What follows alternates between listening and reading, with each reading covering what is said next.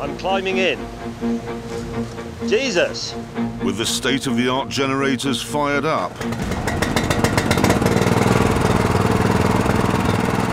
James fortified himself for the journey and then simply drove off the launch pad. Oh my god. Whoa! Oh shit, it's really high! It's really high, you bloke. I'm turning the engine off.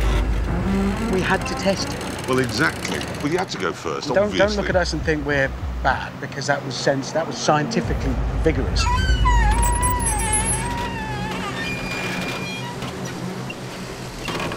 It's a cable car. It's a cable car. I've been on lots of cable cars. Cable cars are very safe. Oh, God, look, he's going. That's, this is where it's high. That's horrible. Oh no, it's going really high. I don't like. I you! Okay. He, he doesn't like us.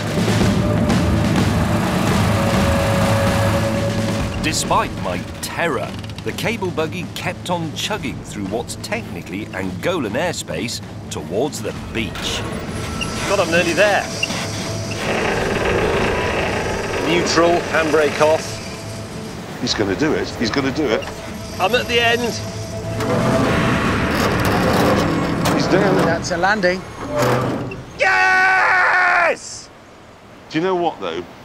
I'm doing maths here. Mm-hmm. One of us is going to be killed doing this, obviously. Yes? I'd say so, yeah. So when we were all here, 33% chance. Now I'm doing it with a 50% chance. I mean, now you're doing it. Well, I'm I, going next. Well, I can go next. Why You are can't go next. Why are you going next? Why can't I? Whilst James toasted his success with some more drink, I won the argument and prepared for launch.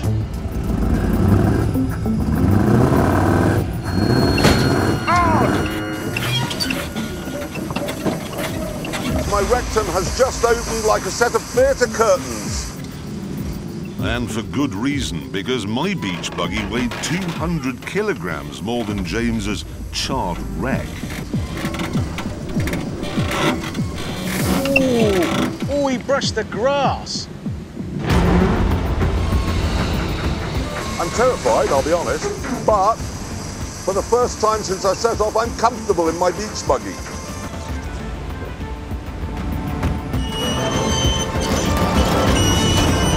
Approaching the beach, approaching the end of the journey. Here I come. And touchdown. Yes! Bad news, Hammond, I've made it. Oh, great. Sir? Oh, I say, James. Actually, I was lucky there was some left because James had had a bit of a thirst on whilst he'd been alone. Hello guys down there, it's Richard at the top. Right, I'm gonna do this now, so goodbye. Oh, I don't like that feeling. Oh.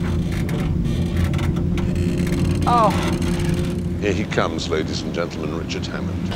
I could take solace from the fact that this system has already run twice with their cars and not failed. It's been tested. Or I could take a more realistic view, which is that those two fat oaks have already weakened it. Plus, he had all that scrap metal in the back, which is why all eyes were on him. Well, when I say all, Look at the colours in those rocks over there. It's, it's fantastic. Just to the left of where Hammond is. Why is my car sitting so low? It is heavy. It is. Why is it lower? The colouring in Yeah, there is they are. fabulous, isn't it? This is it.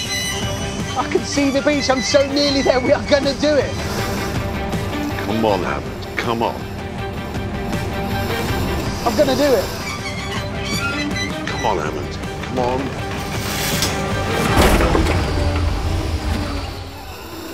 Oh. Hammond! Come What? on! I've stopped. It's just stopped. What can I do? It's just stopped. Is there nothing you can do? Sadly, James was too drunk to think, and I'm mechanically inept. Plus, whatever had gone wrong had gone wrong at the top, and we were at the bottom. Move, move, move! There's literally nothing we can do. We've assessed everything and you're in a hopeless position. We'll have another beer.